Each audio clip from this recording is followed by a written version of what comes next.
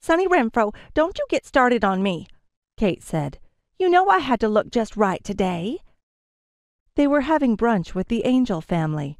Mason, Jamie, and Shay were fifth generation demon hunters, and although lately two of those siblings had become friends to both Sunny and Kate, Jamie Angel was a bit of a holdout.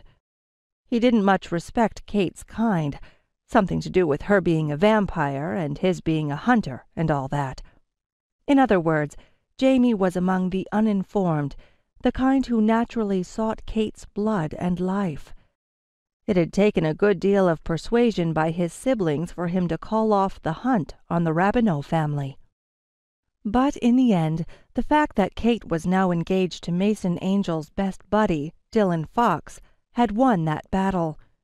Since then, Dylan had permanently joined Jamie's paramilitary group of demon hunters, and Jamie had respected the vampiric ceasefire. But it didn't mean Jamie liked Kate any better, and for some reason his sister Shay was determined to change that fact. Hence they'd arrived here, at the Piggly Wiggly down the street from the Angel's plantation, surveying nearly week-old wrapping paper and cards. Sunny planted her hands on both hips. All that's left are marked down Christmas leftovers. She retrieved a poinsettia-adorned bag, the kind made specifically for champagne and wine gifts. This thing's tackier than my mama's light-up lawn reindeer.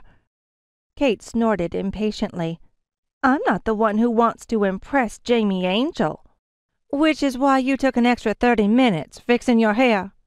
This is your cockeyed plan, not mine, Kate disagreed. And Shay's. Don't forget, this get-together was her idea, too. Kate retrieved the bag covered in neon lime elves. Let's make her laugh and snub Jamie at the same time. We can tell him this was the closest thing we could find to the Grinch. Sunny wasn't so sure. Maybe it was her southern manners, but she wanted something pretty. Give me another second, she told her friend. I'm going to look down in the wine section. Kate glanced at her watch again. Dylan's waiting for us out in the car. I don't like leaving him so long.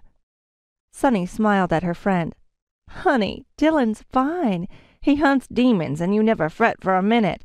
Why should you worry if he's sitting out in the parking lot? Kate glanced away, saying nothing, but Sunny understood. Dylan had been blinded by a mortar round while serving with his unit in Iraq, and although his guide dog, Lulu, was with him nearly everywhere, and he was fully independent and part of the Shades, Kate's love for him ran deep. So every now and then she became a bit too protective, usually when Dylan wasn't around to catch her doing so. Kate released a tight breath. Okay, sure, and I'll keep looking in this aisle. Sunny strolled toward the shelves filled with wine and beer. Bingo! At the very end of the row, she saw an absolutely lovely bag with sequins and tassels. She was about to grab it when a horrific stench reached her nostrils. The hair on her nape prickled, her body tensed, and her otherworldly senses kicked into high gear. With one sideways glance, she saw the demon over near the checkout lines. His blazing red eyes were laser-locked on Kate, who stood obliviously looking at gift cards. Even if Kate had turned, she never would have seen the rapacious creature. She wasn't a hunter, didn't have the sight, and she wasn't what Sunny was, either. Kate Rabineau was, however, a magnet for creatures of darkness who craved her blood because of the supernatural strength it would give them. Demons like this one regularly stalked Kate, and Sunny, because of her unique destiny, routinely destroyed them. Day in, day out, Sunny safeguarded her dear friend, all without Kate's knowledge that Sunny wasn't human, not even close.